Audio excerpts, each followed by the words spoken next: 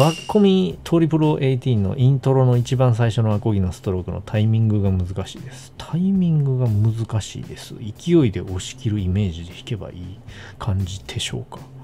うーん、感じてはないかな。勢いで押し切るもクソも、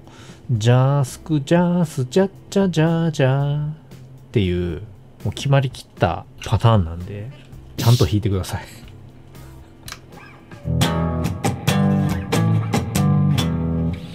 っていうのをちゃんと弾いてください。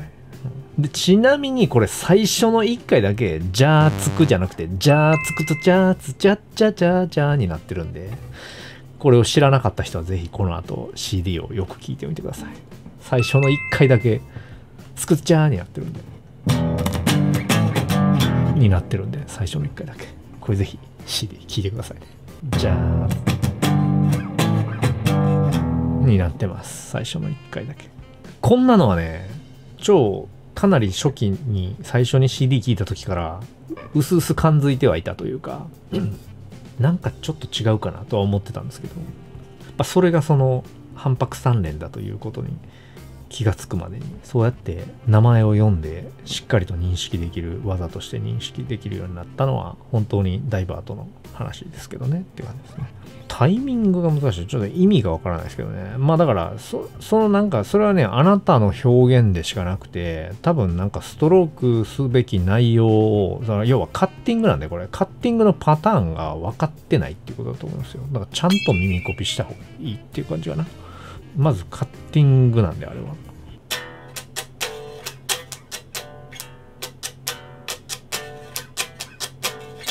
コードストロークだと思ってたら、なんか、みたいな弾き方してるんじゃない？もしかしたら。あの、ブラッシングのとこがないみたいな。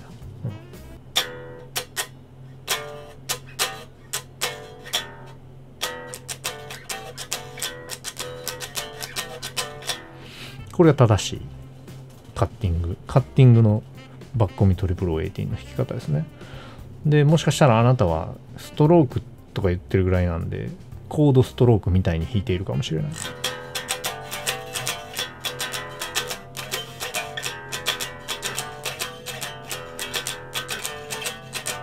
みたいなことやってたら、まあ、ダサい。えー、曲と全然違う、ダサい、みたいな。で、妙に難しい、えー、コードチェンジするタイミングがないんで、コードチェンジというか、うん、ですけど。なんで、あのまあ、カッティングであるということをちゃんと認識するっていうことと、で、その上でカッティングのパターンっていうのをしっかりコピーするってことですね。で、一回コピーしたら、これ、こればっかりずっと繰り返してるだけなんで、もう、もうほんのその一小節だけを集中してめちゃめちゃ集中してコピーすればいいだけなんでもうもうこれはもうさすがにやってください。スロー再生でも何でもして。と言いながら お手本を弾くんですけど。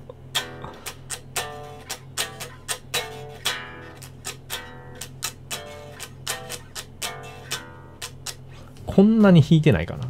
だから意外と全然だから実音が出てるとこが少ないっていう感じですよね。多分ほぼほぼ合ってると思うけどなこれで。バッドコミュニケーショ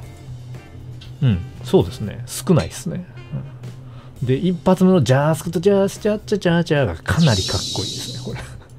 かなりうまいですね。この右からだけになってきますけど。高評価お願いします。これはもうアコギで弾かないと。あとね、なんかね、知り合いがね、マーチンのね、トリプルを42みたいなやつをね、持ってたんですけど、めちゃめちゃ良かったですね。で、こんな感じの音がやっぱするというか、あ、マーチンの音だったんだな、みたいなのは、その時に思いましたね。だから、あの、音近づけたいんだったら、マーチンのギター買ってくださいって感じですね。まあそんなところで、あの、とにかくちゃんと耳コピをしましょうっていうとこですね。そのなんか、勢いでやったらいいのか、タイミングが難しい、勢いで押し切ったらいいのか、みたいな、この曖昧な話、ニュアンスがつかめないんですよね、とかもそうなんですけど、曖昧な話って、実は明確に間違ったことやってますよ、あなたっていう回答になることがむちゃくちゃ多いんで、あのね、そんなね、勢いとかね、タイミングとかね、ニュアンスとかねそんな微妙なことで片付くようなちょっとした違和感とかだったら気づけないですよ普通。その、まあ、初心者だったりとか中級者ぐらいの人が。なんか明らかにまあ言ってしまえばあなたのレベルでも聞いても明らかに違和感がある。これダサいなとかもっとちゃんと弾きたいなって思ってるんだったら相当おかしいことやってるはずなのではっきりとしたなんか間違ったことやってるんですよ多分。なんでそれを探した方がいいですね。曖昧なもののせいにするんじゃなくて楽譜に書けないような謎のものに原因を持っていくんじゃなくて楽譜に書けることが原因であることがほとんどなんで。まずはちゃんと弾きましょうっていうちゃんと弾くっていうのを目指しましょうっていう感じですね。でそのなんか細かい味付けみたいなところはまだまだその先の話なのでちゃんと弾けたその先にある話なのでその段階まで行ってる人が見てる限りほとんどいないので安心してください。そこまでは行ってないと思います。おそらく細かいことを気にするところまでは。言ってないことがほとんどだと思います。そのまあまあ当然その質問している段階で自分で弾けてないと思ってるから質問してるんだろうから当然そうなんですけど大間違いを探しましょうって感じですね。さあそんなことでバッコミトリプル18のイントロの一番最初のアコギのストロークのタイミングイントロのね一番最初のって言われるともうジャースクとジャーの話かなと思っちゃう高評価お願いしますエラーニさんはアコギやエレアコはお持ちですか？これまで弾いててよかったメーカーのものはありますか？アコギは、まあ持ってないというか、まあそこになんかミニアコギみたいなのあるんですけど、あれは、ヤイリやったかな？ヤイリチと島村の、まあ、コラボというか、みたいな商品みたいなやつ。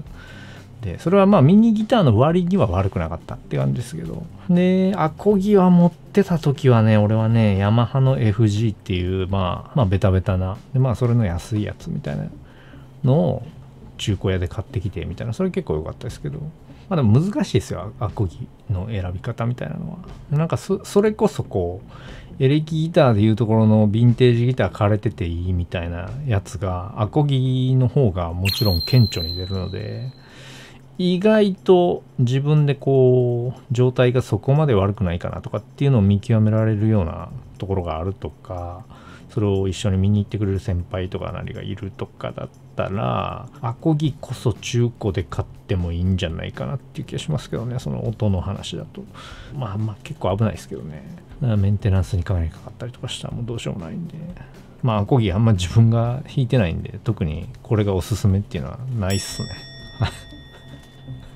なんでそのコメント読んだんだっていうと、エラーニさんって書いてあるのが気になったんで、それをちょっと口に出して読みたかっただけです。エラーニです。エラーニです